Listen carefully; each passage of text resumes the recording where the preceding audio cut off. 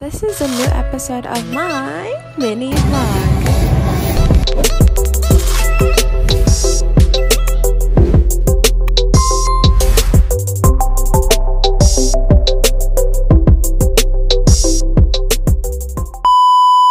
Another new day, another new mini vlog.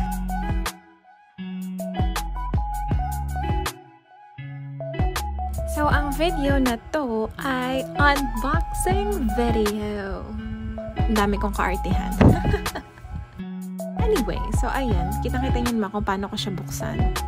Ayoko kasi siya diinan kasi baka maano, baka masira yung mismong box.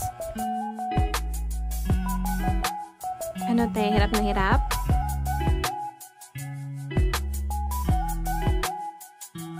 And so, ayun na nga. So, ayan po. This is iPhone 13 Pro Max. My Christmas gift for myself. Thank you, self.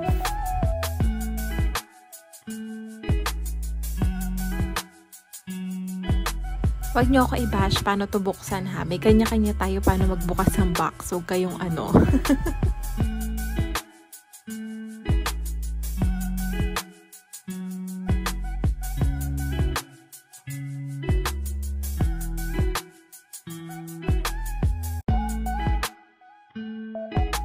Honestly, this is my first time unboxing a new phone. Kasi before yung phone na Samsung ko, hindi kasi ako yung nag-open nun. Kasi nasa malayo akong lugar.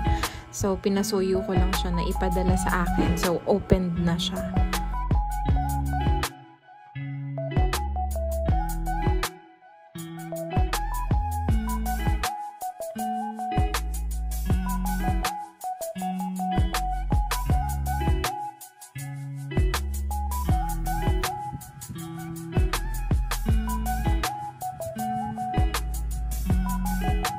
So, ayun. Ito na talaga siya. I'm opening it.